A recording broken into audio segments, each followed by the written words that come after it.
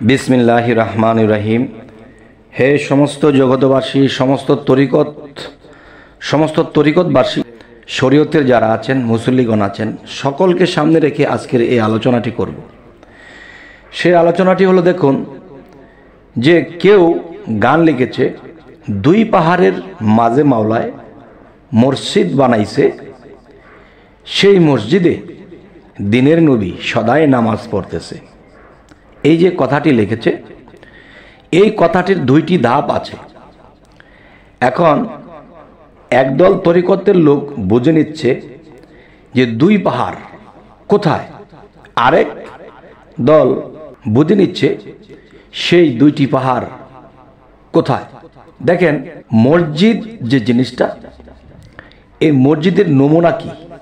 মসজিদের নমুনা যদি আমরা দেখতে যাই সেই মসজিদের নয়টা দরজা থাকতে হবে এবং সেই মসজিদের ছয়টা কোণা থাকতে হবে, দশটা দিক থাকতে হবে। তাহলে এই যে বিষয়গুলো, যিনি এই গানটি লিখেছে, যিনি এই গান লিখেছে যদি উপরে রেখে লিখে, তাহলে ধন্যবাদ তাকে। আর যদি এই গানটি নিচে রেখে লিখে, তাহলে সে পাপিষ্ট হবে এবং আমি তাকে ঘৃণা করব। আচ্ছা আমি তাকে ঘৃণা করব কীরকম দেখেন, যে দুই পাহাড়ের মাঝে মাওলায় মসজিদ বানাইছে, সেই মসজিদে দিনের নবী সদাই নামাজ পড়তেছে। দেখেন, আমি এই বিষয়টা ব্যাখ্যা বিশ্লেষণ করার জন্য আমি বেশ কিছু, যেমন তরিকতের লোক, বিভিন্ন তরিকতের লোক, আমি এদের সাথে পরামর্শ করেছি যে এই গানটি যে বলল যে দুই পাহাড়ের মাঝে মাওলায় মসজিদ বানাইছে সেই মসজিদে দিনের নবী সদাই নামাজ পড়তেছে।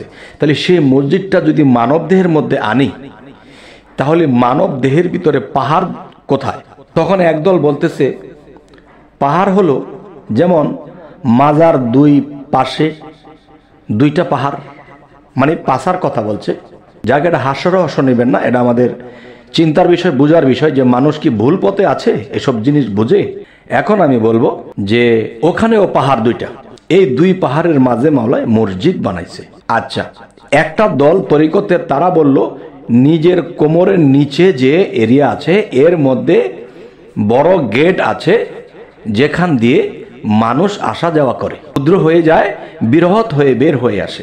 তাহলে এটা একদল, এটাকে মসজিদ বানানো হয়েছে। আচ্ছা এবার আসি এবার আসি যে উপরে। যেমন, আমরা পুরুষ মানুষ হই বা নারী লোকই হই যে বুকের স্থানে দুটি গম্বিজ। এই দুটি গম্বিজের এখানে কিন্তু কাল্ব আছে আর কাল্বের মধ্যে কিন্তু আল্লাহ আছে। তাহলে দেখা যায়, এই চিন্তা চেতনায় কেউ নিচে চলে গেছে, সেখান দিয়ে মানুষ আসা যাওয়া করে। আবার কেউ চিন্তা চেতন নিয়েছে সেটা তো নোংরা জায়গা, সেখান দিয়ে কেন? সেখানে কেন মসজিদের দরজা মসজিদ হবে? তখন কেউ নিয়ে গিয়ে চলে গেছে উপরে, সিনার উপরে। যে স্তন নামের যে গম্বীজ, এই গম্বীজে, এই গম্বীজের দেখা গেছে বাম পাশ এবং ডান পাশ। এখন বাম পাশের স্তনের নিচে কিন্তু কালবের স্থান। তাহলে এখানে আল্লাহর সিংহাসন কালবে। আচ্ছা তাহলে যাই হোক হে জগতবাসী আজকের যে আলোচনাটি, যে যেই ব্যক্তিটি এই গানটি লিখেছে, তিনি কিন্তু ইঙ্গিত করে, ভালো করে বুঝিয়ে দিলে মনে হয় ভালো হতো। আর না হয়তো মানুষ কিন্তু পথভ্রষ্টর দিকে চলে যায়। কেউ ভাবতেছে, দুই দিকে দুই মাজা, এই দুইটা পাহাড়, এবং এর মাঝখান দিয়ে বলতেছে যে, সদাই দিনের নবী নামাজ পড়তো। নওয়াজবিল্লা এখানে কি নামাজ? এখানে নোংরা জায়গা। যাই হোক এখন উপরে যদি যাই, এখানে পবিত্র। যেমন, আমাদের দুই পাশে দুইটা সিনার, দুইটা স্তন সে, মেয়ে হোক আর পুরুষ হোক। তো দেখা গেছে, তিনি কিন্তু গানটির মধ্যে এই কথা লিখেছেন যে, দুই পাহাড়ের মাঝে মাওলায় মুর্শিদ বানাইছে। দুই পাহাড়ের মাঝে তো হইতেছে না। দেখেন, কাল্প কিন্তু আপনার বাম সাইডে। এটা কিন্তু মাঝে হইতেছে না। আর কাল্পের মধ্যে তো আল্লাহর বসত। তাই আমি বলব যারা এই কথাগুলো শুনতেছে, তারা কিন্তু ভুল জায়গায় নিয়ে লাগাচ্ছে এবং যিনি বলেছে সে কোন জায়গায় ফেলে এই গানটি লিখেছে, এটা কিন্তু তিনি বুঝতেছে, কিন্তু তারা বুঝতেছে অন্যটি যারা শুনতেছে। তবে হে জগতবাসী আজকের এই আলোচনাটি আমি কেন করলাম? আমি বিভিন্ন তরিকতের দ্বারে দ্বারে গিয়েছি, জিজ্ঞাসা করেছি, আজকে কমপক্ষে পনেরো বছর আগের কথা বলছি। তারা কিন্তু যে একদল বেশিরভাগ লোক দেখা যায় তারা মাজার নিচে কিংবা নাবির নিচের যে স্থান, এখানেই তারা বলতেছে, এখানেই নামাজ পড়তেছে। নওজুবিল্লাহ এখানে মসজিদ বানাইছে আল্লাহ। এখানে নোংরা, ময়লার টাঙ্কি, প্রসাবের টাঙ্কি এবং এখান দিয়ে পার্সিং হয়। নওয়াজবিল্লাহ এখানে কি করে হয়? তবে হা যে সিনার মধ্যে যদি যাই, তখনই এখানে একটা মিল পাই, কিন্তু একটা দিকে ব্যামিল পাই, সেটা হলো কি? যে কাল্পটা আমাদের পড়ে গেছে সাইডে, বাম সাইডে। মাঝখানে তো পড়ে নাই। যদি ছয়টা লতিবার কথাও বলি, তবুও দেখা যায় কি যে ছয়টা লতিফার মধ্যে যদি যাই, তাও দেখা যায় যে মাঝখানে সির পড়ে। কিন্তু লতিবাই কাল পড়ে না লতিবাই রুফ পড়ে না। তাহলে মাঝামাঝি সির পড়তেছে, আর এখানে তো মসজিদ হয় না। তাহলে এখানে মিল পড়ে না এবং নিচে তো যাওয়াই যাবে না। তাহলে তিনি কোন বুঝে এই গানটি লিখেছেন? আচ্ছা যদি আপনারা কেউ কিছু বুঝে থাকেন, আমাকে অবশ্যই জানাবেন।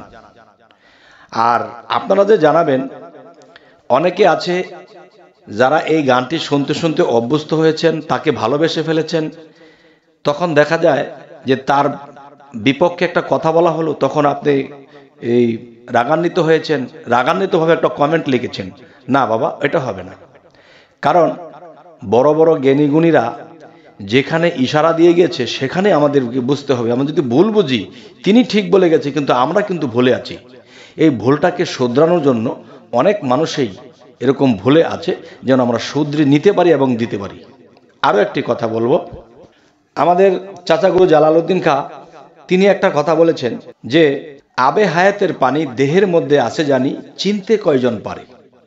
তার মানে আবে হায়াতের পানি মানে দেহের মধ্যে যেই পানিটা দিয়ে আপনার আর আমার জন্ম হয়েছে, সেই পানিটি হলো আবে হায়াতের পানি। আব অর্থ পানি, আর হায়াত অর্থ জিন্দা মানে জিন্দা পানি। এই জিন্দা পানি দ্বারা আপনার আমার জন্ম হয়েছিল। তো এখন দেখা যায় একদল লোক এটাকে, বইয়ের কথাটাকে কোন দিকে ঘুরিয়েছে? তিনি বলেছেন আর তারা বলে কি এই বইয়ের কথাটা অন্য দিকে নিয়ে যাচ্ছে। কীরকম? তিনি বলেছেন, দেহের মধ্যে আছে জানি আবে হায়াতের পানি, চিনতে কয়জন পারে? যে চিনতে পারে, সে এই আবে হায়াতের পানি বা এই জিন্দা পানিকে নষ্ট করবে না, দেহের থেকে ছেড়ে দেবে না। বরঞ্চ সেই দেহের মধ্যে আরও ধরে রাখবে। তাহলে এখানের মূল যে কথাটি হলো কি? যে, দেহের মধ্যে আছে জানি আবে হায়াতের পানি, চিনতে কয়জন পারে?